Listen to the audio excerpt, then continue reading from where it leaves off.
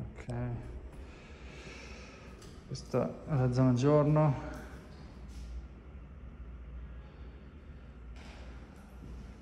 Con la vista sul parco. Molto bella poi siamo al sesto piano è l'ultimo piano del palazzo.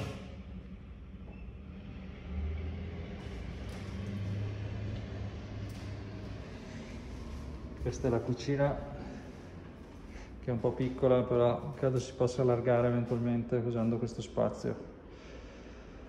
Cioè ci sono diversi closet. E adesso andiamo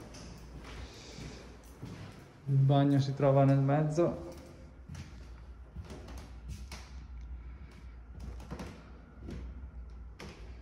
E questa camera che è molto larga. E anche questa con una bella vista sul parco e due closet, quindi molto spazioso.